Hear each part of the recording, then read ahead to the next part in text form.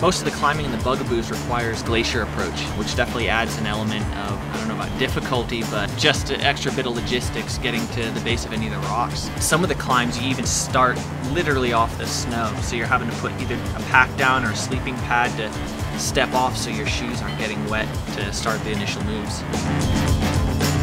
Rock, paper, scissors, shoot. Rock, paper, scissors, shoot. Yo! Take him down twice. Well, the first thing we climbed was the Beckey-Chouinard on South Howser Tower.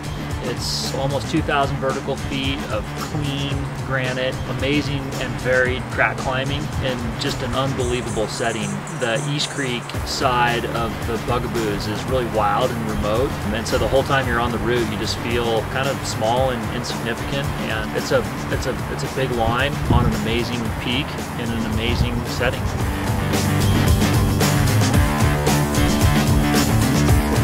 Deep in the Pigeon Feathers, hanging out by its lonesome, is this multi-pitch crack climb called uh, Solitary Confinement, and uh, it's not it's not super difficult, uh, 5.11-ish.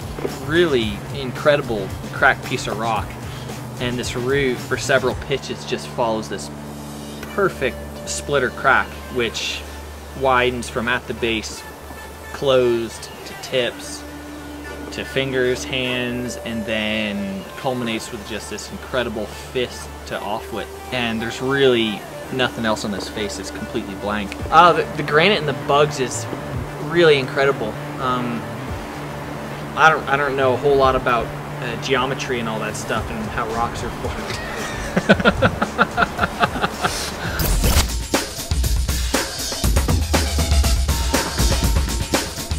don't think it was an objective from the beginning, but it became one once we were in there and, and kind of saw the line. It was um, to free climb the gar wall on the Fingerberry Tower, which is one of the pigeon feathers, um, and they, they kind of lie at the head of the East Creek drainage. So I think it was on day three we went up to check it out, and um, God, I was just, it was just, again, amazing to watch these guys climb because one of the crux pitches was about the second or third pitch and maybe a mid 5.12 um, kind of thin crack, and Mason just hiked it first try. I mean, didn't even really make it look hard.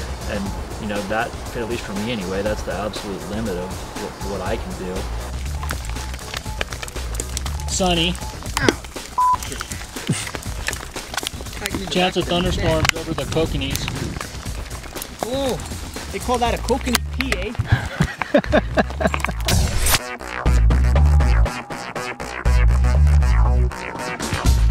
then a little bit higher up, we kind of ran into a more of a, a granite slab face climbing cr crux. And, you know, without much work at all, Mason figured out the moves.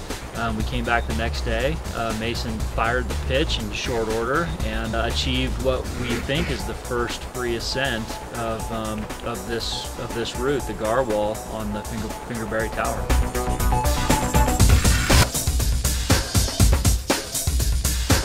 Think one of the special things about camping out in the wilderness for any uh, period of time is that it sort of gives you the chance to detach yourself from a lot of the electronic vices. No Instagram out there, there's no Facebook, you're not checking emails, so you're doing what folks did 50 years ago. You're playing chess, you're picking banjos. Yeah, we had a guitar. Yeah, Just guitar, had a couple of jam jamming. We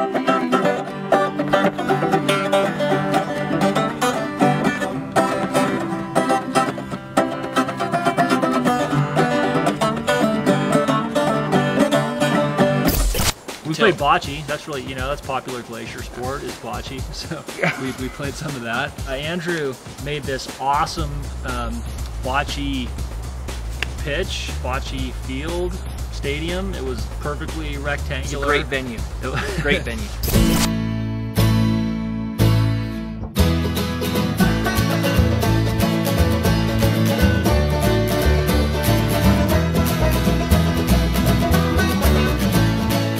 Day five of our trip, we um, got an early start from our East Creek camp and popped over the Howser Pigeon Col and then the Bugaboo Snow Patch Divide and dropped down into the Bugaboo Creek side of the range and uh, climbed this thing called the McTech Arete, which is a kind of a 10 minus thin kind of finger layback crack, and six pitches, and that takes you to the top of the Crescent Spire, and then we link that up with the Northeast Ridge on Bugaboo Spire. This was the second of the 50 classic climbs of North America, which we did on this trip, and you know, again, just amazing stellar splitter granite on an exposed ridge high above the glaciers. And we actually ended up kind of soloing the upper half of it, which was great because, again, you know, just the, focusing on pure movement and really the enjoyment of just moving in the mountains. When we topped out on that and descended the classic Kain route and then headed back to camp, and it was, um, again, another magical day in the bugs.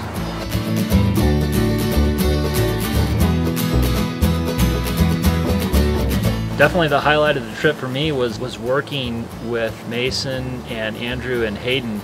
I've been in the sort of outdoor business for over 20 years now guiding, but to, to see the cutting edge of climbing was really inspiring for me. Being able to watch Mason climb um, and see uh, the limits of our sport was, um, yeah, was definitely the highlight of the trip for me. Cheers, buddy.